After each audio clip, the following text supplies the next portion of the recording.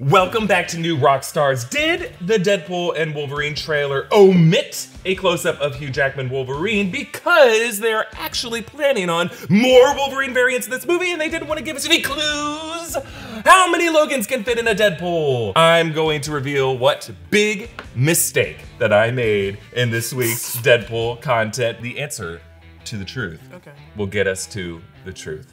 It's early. This is a sneak peek. We're gonna look ahead to the week of fandom, and one week later, we are still buzzing about the Deadpool trailer. I'm Erik Voss here with Jessica Clemons, co-host. Hi, I'm here, and I'm wearing a lot of merch. Oh, you are? I'm mm. sorry, I couldn't hear you under that break room bucket hat, that break room hoodie. It looks great. New break room merch available at nerdriot.shop. What am I wearing? A, a, a hoodie for a improv a dead, theater? a dead theater. a theater that no longer exists.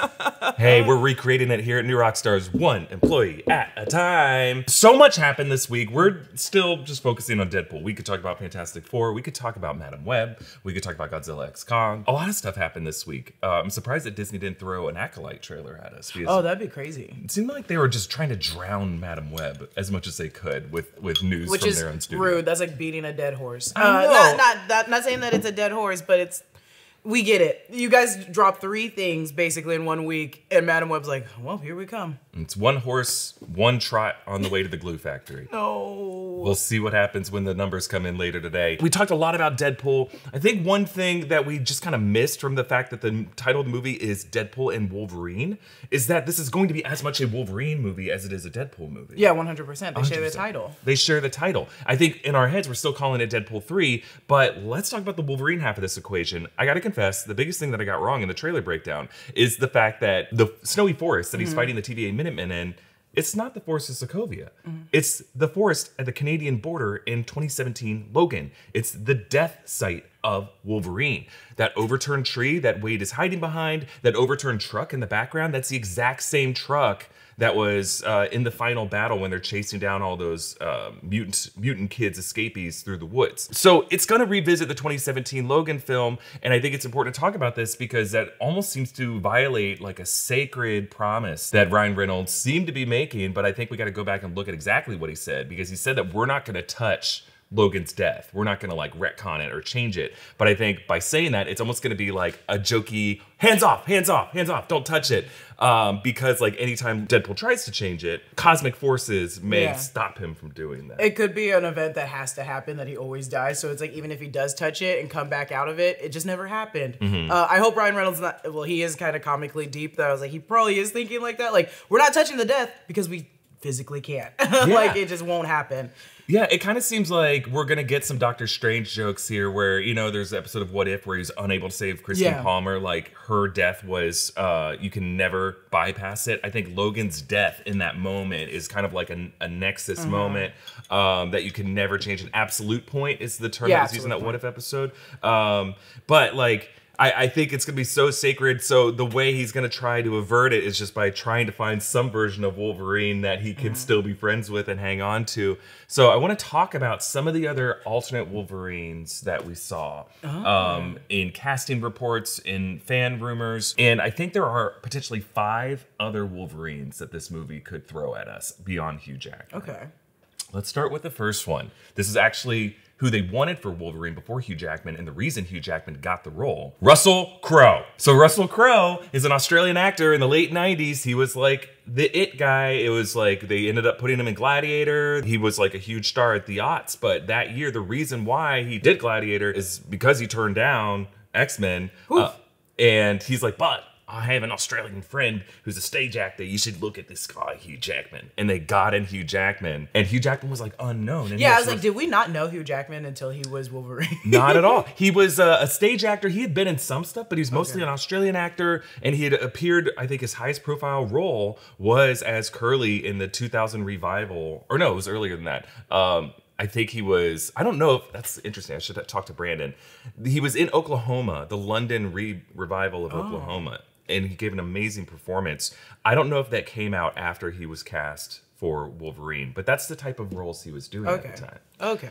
Um, so we already saw Russell Crowe as Zeus in the MCU. Do you think we could see Russell Crowe as another Wolverine? I think that would be fun, especially if they're friends. It seems like this movie because uh, Ryan Reynolds and uh, Hugh Jackman are friends, and how we assume like Blake Lively might show up and all these other people that are just friends of the family are showing up, it would give way to see Russell Crowe show up, and it'd be kind of funny because he is a slightly like off version of Hugh Jackman with Yeah. the beard. So it's like, yeah, it'll be a little cameo. That would be that would have been insane. I mean, we at, at that point we're definitely getting a two four six yes. oh one Two, four, six, oh, one. because they were both in the 2012 Les Yes. Mis movie as like these opposing figures, and we know Ryan Reynolds loves to make fun Yep, of a Wade yep, that yep, or makes fun of Logan because on the Deadpool 2 crayon map he labeled Wolverine as 24601, and like I wonder if that's gonna be like the TVA designation of his number is prisoner 24601. I mean, god dang it. If they keep going, if he's going to different realities to go find different Logans, and one Logan is literally just a Broadway,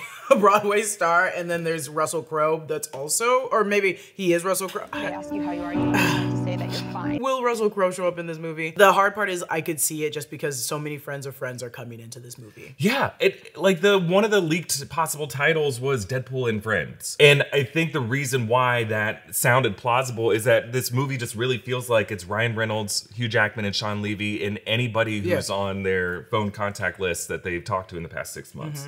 And I think the movie's gonna be better off for it. Yeah. We should talk about X23, Dafne Keen as Laura from Logan. I think the fact that this scene is going to be set in this location, I'm at 80% now that we're going to see Dafne Keen in this movie. Uh, just because they're they're going back to those events. I think she's going to be the one protecting the grave site. Like anytime uh, Deadpool tries to Oh, get there, she's going to be up in the trees and she's going to swoop down and go, yeah, And then disappear back up in the trees. And he's going to be like, the hell is going on? like a predator or like Yeah. the predator. Like the um, that would be kind of fun. That'd be fun. We should see her, but isn't she in? Is she in the acolyte? They're done shooting. Dafne Keen, yeah, she's taken on other roles, but like, I mean, if Taylor I was just Swift trying to make. find time, to That's that is also true. If you can, and at, at this point now, seeing how big that trailer did, everyone's like, you know what? I should make time for this. like it is gonna be big. They're all on the phones with their agents. They're like, Please get me on Ryan Reynolds' phone line. I need to be in this movie. Dafne Keen showing up is I would that would be really fun to see her fight Deadpool and Deadpool can't get her and then it's just like okay I'm done with this I'm done with this universe we're leaving this one. I think like of the different Wolverine variants we're talking about, she might be the likeliest um, in terms of like the actor we know playing them. But we are also pretty certain that the patch Wolverine that we Yeah. see in the trailer is not Hugh Jackman. And we just did a bit of forensic analysis on the body shape of the actor sitting away from Forensic analysis. Yeah, you know, you just look at like the curve of the of the neckline and the shoulders, and then you imagine what's down there, and it's like, man, is something weighing him down in that seat, or does he have a spring in his step? And Taron Egerton and Daniel Radcliffe have different body shapes generally, but Daniel Radcliffe, people have been sharing a picture. This guy's gotten big. He's been working. I need out. to see I need proof of that. bring up the picture. Bring up the picture. Whoa, whoa, whoa! No, that's a big boy. That's a big boy. So it could be him in the seat. I just think in terms of like the shoulder shape, Taron Egerton just wears a suit differently than Daniel Radcliffe does. And people did talk about wanting Daniel Radcliffe to be Wolverine Mm-hmm. at one point, so I could see that coming into play just as a joke to a bit to the people online. Uh, is he friends with Hugh Jackman? Oh well, they had to cross paths in Tony's. At the Tonys? At the Tonys, they absolutely probably did a dance number together at one point. I'm trying Well, to think. Yeah, Hugh Jackman was in The Boy from Oz. Um, Daniel Radcliffe was uh, How to Succeed in Business Without Knowing, and he Uh-huh, did perform at the Tonys doing that song. He did. I think Hugh Jackman is at the Tonys every year. Yeah. He may not be hosting the Tonys or be nominated for anything, but he's just got a seat reserved for him. It's- This is my yeah, the, Tonys. the Jackman bucket, and he had he The gets it every time. bucket. Um, yeah. Okay, that would be fun. I would see that one more than Taron Egerton. Was was remember when Taron was like I was on the phone with Marvel? Was it for like I don't know if it was for this. I think Yeah. he was probably brought in for meetings along with a lot of different people. Yeah, right. And but I think the reason why I think he's on our focus list is because uh, Taron Egerton and Daniel Radcliffe were just one of these. The way John Krasinski was speculated to be Reed Richards, the way these guys were speculated to Yeah. be Wolverine, and I think Ryan Reynolds is going to play into that. Yeah, 100%. He saw that happen, and I think he's going to be making the same choice here. I think movies like this are some of the few opportunities Marvel has to pay homage to fans who Yeah, wanted that. 100%. And I think they're going to try to run through everybody on the list um, just to disappoint people. now, I, but I think what was disappointing about Reed Richards as uh, John Krasinski, he got killed off too soon. But I think what we're going to see in the MCU is we're going to see Krasinski come back as part of a Council of Reeds. I think that's Yeah. a no-brainer.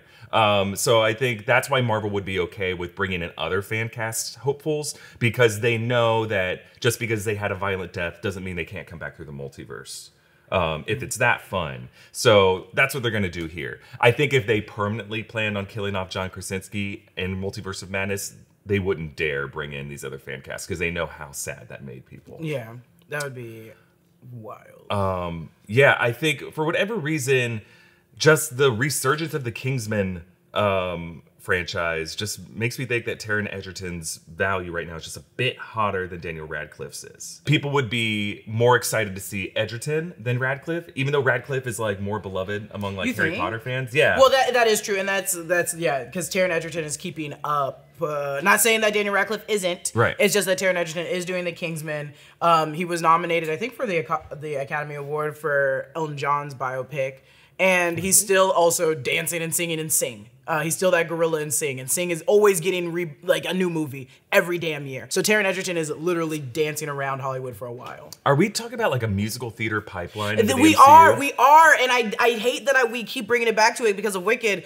but de- genuinely, Taron Egerton literally is in Sing, and he plays Elton John in the biopic. He's not like the best singer, but he does love singing, and he can keep a note very well. Yeah. Uh, and Daniel Radcliffe is just so tiny; he can dance. He's nimble. Yeah, Taron Egerton's no Russell Crowe. I think we can admit that. Oh my God! keep Russell Crowe away from a microphone at all times, and I said it.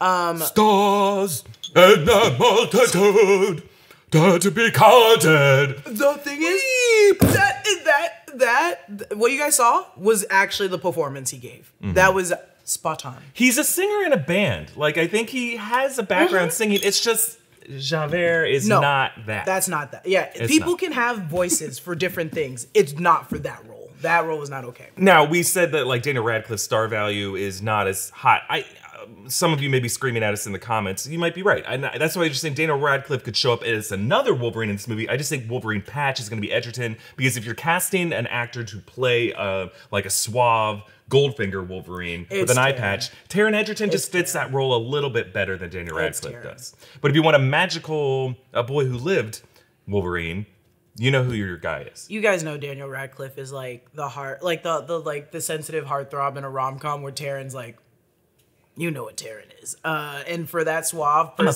boy, Eddie Cole back.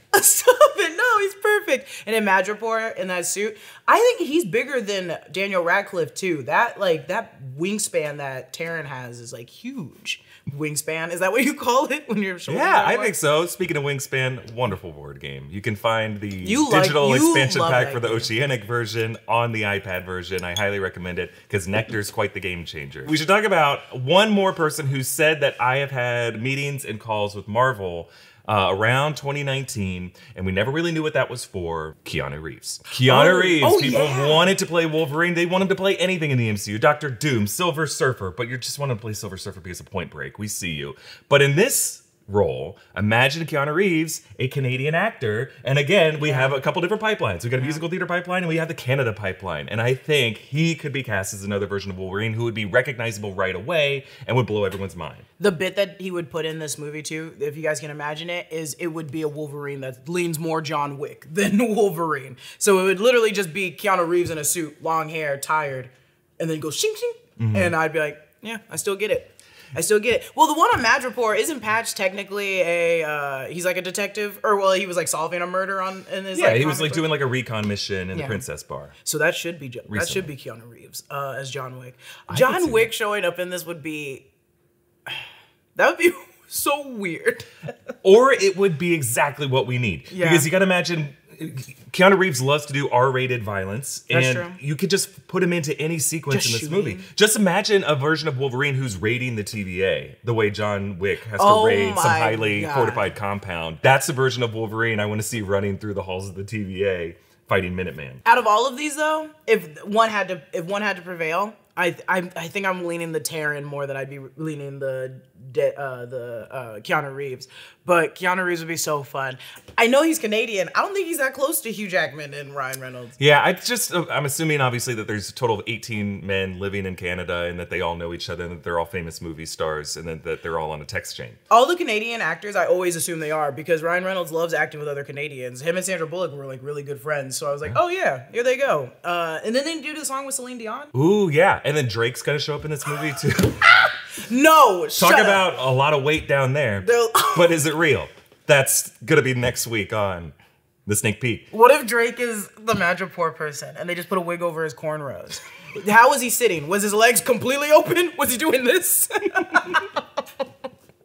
Uh, okay, we're gonna talk about another dimension of cameos that could appear in this movie using this kind of thought experiment. But first, we want to give you a sneak peek at this week on New Rockstars. Let's talk about this past week. It's been such an insanely busy week. We just worked a 6 day work week, starting with Super Bowl Sunday, and like it's one of the biggest weeks we've ever had on the channel. That we've had three videos trend on YouTube. I don't think we've ever had three videos on YouTube trend. So thank you to all of you, and just really thank you to Deadpool for being such a popular movie Deadpool. for us to be able to jump on that. Today's video is sponsored by Blue Chew. And look, I'm neither suave enough nor gross enough to talk about sex comfortably, but you know, things change as you age. And if you want to turn back the clock to a more energetic time in your life, BlueChew.com can help. Blue Chew is a unique online service that delivers the same active ingredients as Viagra, Cialis, and Levitra, but in chewable tablets and at a fraction of the cost. You can take them anytime, day or night. That way you can plan ahead or be ready for whenever an opportunity arises. It's super easy to do. Just sign up at BlueChew.com, consult with one of their licensed medical providers, and once you're approved, you'll receive your prescription within days. It's all done online. That means no visits to the doctor's office, no awkward conversations, and no waiting in line at the pharmacy. Blue Chew's tablets are made in the USA and prepared and shipped direct to your door in a discreet package. If you're skeptical or you don't think you'll need it, try it free for a month and see. Blue Chew wants to help you have better sex. Discover your options at BlueChew.com. Chew it and do it. We've got a special deal for our audience. Try Blue Chew free when you use our promo code New Rockstars at checkout. Just pay $5 in shipping. That's BlueChew.com. Promo code New Rockstars to receive your first month free, just $5 in shipping. Visit BlueChew.com for more details and important safety information, and we thank Blue Chew for sponsoring our channel. Uh, you released some really fun videos. You did a, a breakdown of the Twister trailer. You and Brandon covered the Wicked trailer, and I love that. Uh, a Godzilla X. oh yeah, I just did. Yeah, that one came out a couple of days ago. That movie looks a lot of fun. That movie is so fun. Um, I make a lot of jokes that it's a, a bisexual movie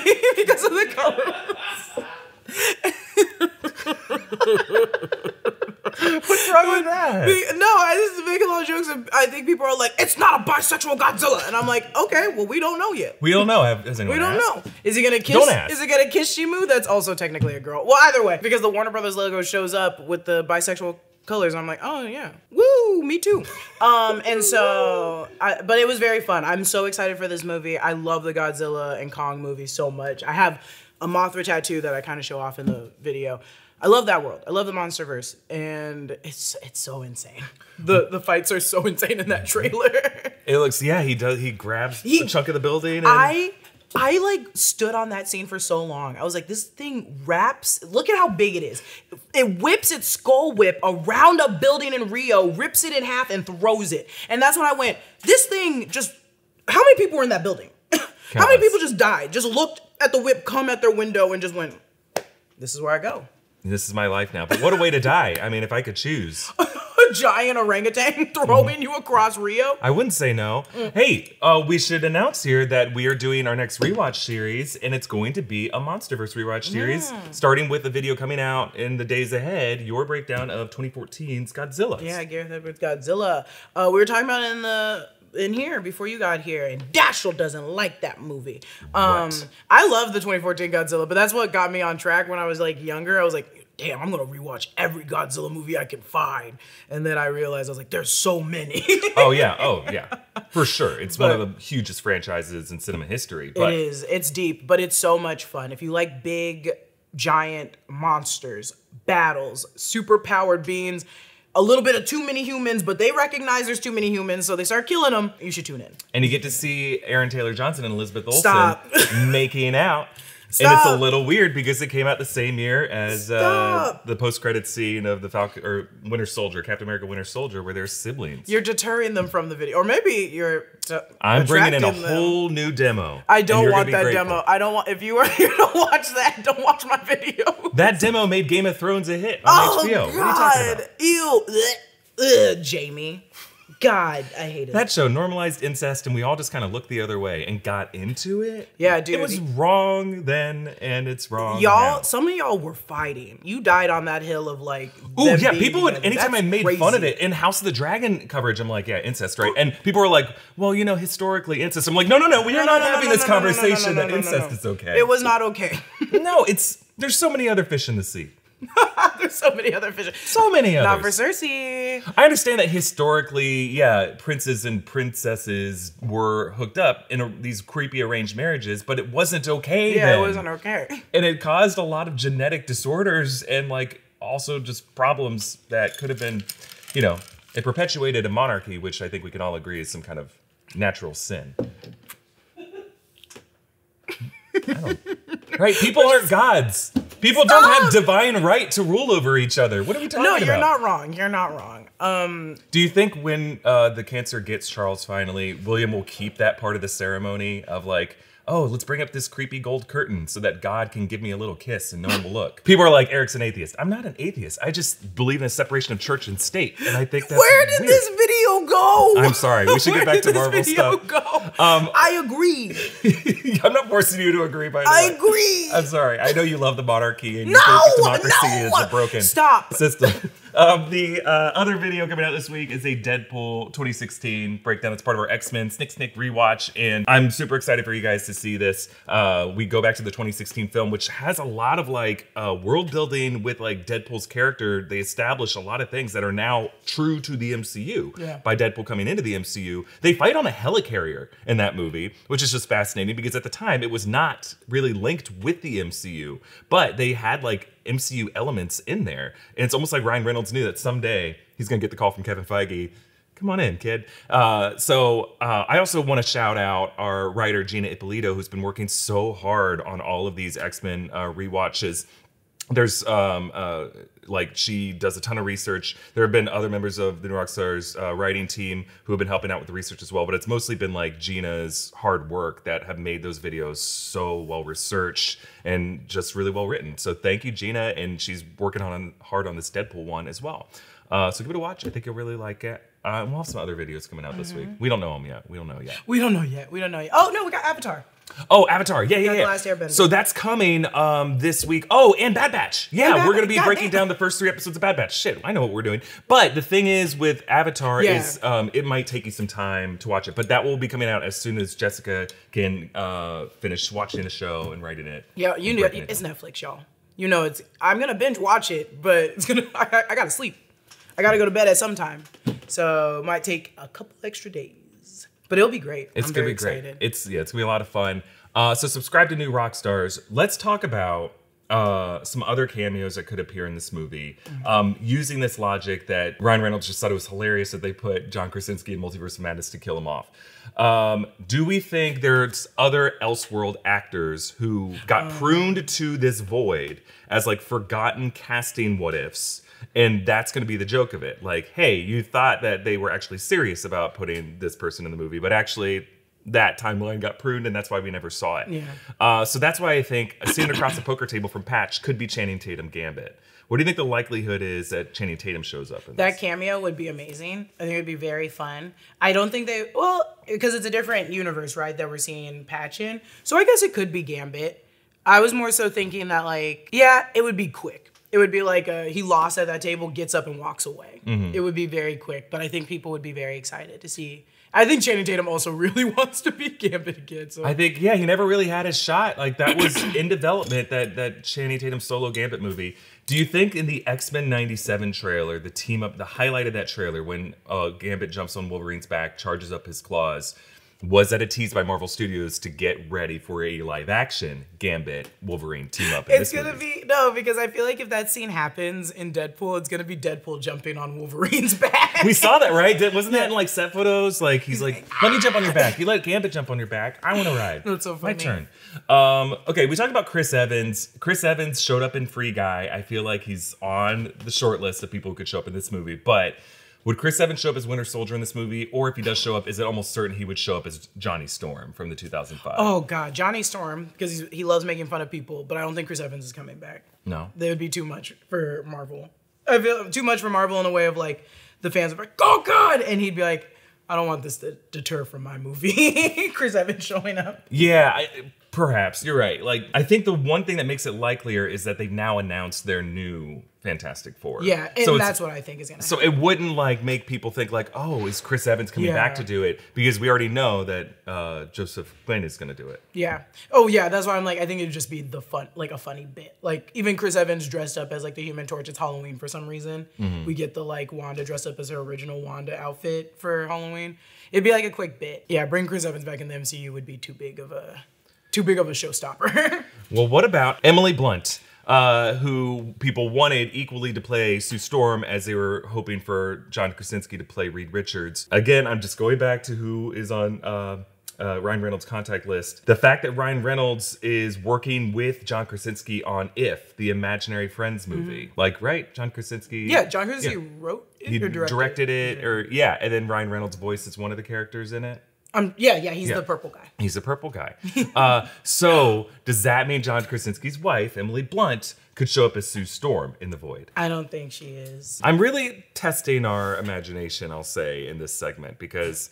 Yes, these are. I'm just trying to go with who are the craziest possibilities. This was a question that Zach asked us last night when we uh, did our live show. It's like, what are some crazy cameos? And like the conversation drifted. We didn't really get to what the possibilities are, but I really wanted to like try to answer that question of like, how far could this movie go? I think going as far as possible is possible, and I think or plausible. I think as far as they would go would be like that Channing Tatum.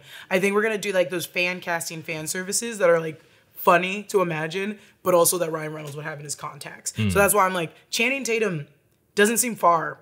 But it is really far and insane to put him in the movie when we know we're having X Men 97 show up mm-hmm. and this is an X Men movie. So I'm like, that'd be crazy. So I think it's people like that or the Taron Egerton, But Emily Blunt, I don't know. I don't know. I think it's either going to have like just a uh, a small number of people. I mean, they put Aaron Stanford Pyro in the trailer, which I feel like is like a tease for what they have in store. Isn't Elektra supposed to be in it? Yeah, So uh, I think that was like the first high Yeah. profile one. So okay, that to me that just clues us into what they're Mm-hmm. capable of. Like they got Aaron Stanford, who like no one was really like expecting, um, but they also have the ability to get Jennifer Gardner to come back. So that just shows us their reach. Yeah. Uh, so that's why I think Emily Blunt is possible. Emily Blunt is just game for stuff. Um, and the last option I'm going to talk about is not Taylor Swift, though I did pitch to our live show audience that Taylor Swift, if she's in this, the the best, the smartest way to have her cameo in the movie is to play some other variant, either Dazzler or like some other version of Deadpool, some other version of Wolverine, or, or just herself. And her cameo is she's alongside several other characters who just get very quickly killed off in some kind of a spectacular fashion. That would be, because that way that'll just shut up anyone who didn't want to see her in the movie. I think she'll do that song like Celine Dion did for the second Deadpool movie. She's singing Back to December or whatever, Ah. uh, like they did in the trailer. And they even throw Taylor Lautner in there because that song's about Taylor Lautner. And then he takes over the song and starts singing it to Taylor Lautner. Do we get a Taylor Lautner Wolverine? Only if Taylor Swift is in it. Okay. only if Taylor Swift is in it. And if they, oh, I only also assume it would be a singing song one of Back to December because of the the like extra teaser they did where he's singing to Back to December. Like the last person we should talk about is the ultimate MCU fan cast that someone who they were going to start the MCU with, but they decided to go in another direction. Iron Man. Before Robert Downey Jr. was booked for it, they were looking at Tom Cruise. Oh, So does Tom Cruise cameo in Deadpool? That 3? would be that would be the crazy one. That would abs. And the reason why it's crazy is because he would absolutely do it. Yeah, Tom he would. Cruise is down. He's like, yeah, I'm on break for a second. Let me come over, and then just like do his own stunts. Immediately die. It would be like Brad Pitt showing up in Deadpool three or Deadpool two. Right. The 100. percent I could see that. That's why, and that's why it's like the fact that Brad Pitt showed up in Deadpool Yes. 2. The only other actor who's in that vein, in the style of Brad Pitt, would be Tom Cruise. They're from that same generation. They're the same kind of like like guys in their 50s slash 60s who are beloved Hollywood stars who would just come in to play a very memorable cameo. Uh, and I think uh, the fact that he showed up in Tropic Thunder just shows you what type of performer Tom Cruise considers himself to be. And I think, yeah, just for that alone, it's possible that he could show up in this movie. We have nothing telling us that. No, he there is not. There is no lineage other than what you said about him almost playing Iron Man that would connect him here. But he's game for things. Yeah. and he would. It's like almost grabbing Ben Stiller. Like they're both game for things. Yeah. I just don't know how they got Bill Murray for Quantumania. I'll never understand how that happened. Someone must have been close with him. Yeah, someone's kid and was he was like, with "Yeah, kids." sure."